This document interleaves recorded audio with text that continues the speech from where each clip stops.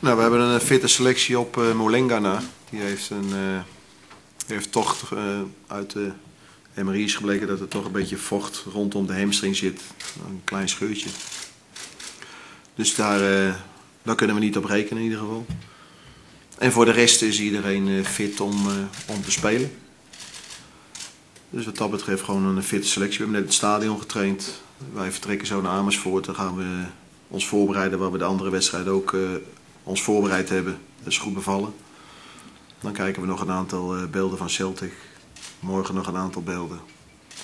En dan, uh, dan gaan we rustig uh, ons voorbereiden naar morgenavond. En dan in de loop van de middag vertrekken we weer naar Utrecht om hier aan te komen op het stadion om te spelen. Dankjewel. Misschien mag ik ook een eerste vraag aan Jan Buiten stellen. Jan, jij als speler, hoe kijk jij tegen de wedstrijd van morgenavond aan? Ja, we hebben, we hebben 2-0 achterstand natuurlijk. Uh, het is wel jammer natuurlijk, maar uh, we blijven er geloof in houden denk ik. Uh, het is voor ons heel belangrijk dat we deze wedstrijd goed oppakken weer. En dat de publiek laten zien dat we in Celtic eigenlijk ook niet echt heel erg kansloos waren. Ik denk dat we een goede eerste 30 minuten zeker hebben gespeeld met, met een paar goede kansen. Dus het geloof is er nog zeker. En dat, ik denk dat het heel belangrijk is. Hadden, het liefst hadden we daar in Schotland één, één binnengeschoten. Oké, dat gebeurde, dat helaas niet. Dus ja, je weet, uh, je moet twee doelpunten verschil moet je goed maken.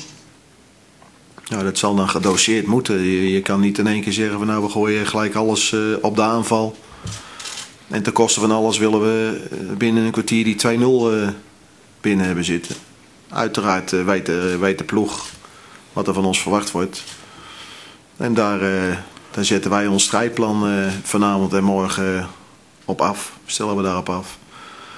En uh, ja, je moet, je moet scoren en daarbij uh, houdt het in dat je achter de nul moet houden. En nou, helaas uit, ja, daar hebben we dan, zijn twee persoonlijke fouten. Wat normaal ons sterkste gedeelte van de ploeg is, de verdediging. Nou, daar ga ik morgen aan vanuit dat we de nul houden. Maar het verandert niks in het spel. Het is bekend dat de Molenga natuurlijk fysiek vrij veel brengt ten opzichte van bijvoorbeeld een Duplan. Wij, en wij vinden hier binnen Utrecht dat die plan zich uh, gewoon uh, fantastisch uh, gepresenteerd heeft. Oké, dan zullen wij daar iets anders tegenover moeten zetten. dan, dan zullen we daar in bepaalde situaties misschien slimmer nog mee moeten omgaan. En dat is afgelopen zondag ook gebleken. Dat voorzitter van Duplan een, een schitterende kopbal van een Verholswinkel. Dus we zullen dan ja, daar andere mogelijkheden moeten gaan zoeken. Nou, en die zijn er ook wel degelijk tegen Celtic, denk ik je kan eh, kansen weggeven is daar heel dodelijk, zoals je hebt gemerkt. Ja.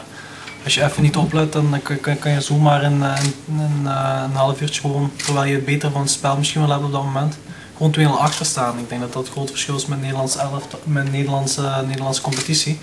En dat de foutjes meteen worden afgestraft. En ik denk dat we daar morgen heel geconstateerd in moeten gaan spelen om dat, te zorgen dat dat niet meer weer voorkomt. Ja, maar oké, ook, dat is, ook dat is voor uh, deze jongens weer een, een, een leerproces. Als je ziet, uh, ja, we hebben een vrij, nog steeds een vrij jonge ploeg. Nou, we, zijn sinds lange tijd voor het eerst weer in Europa.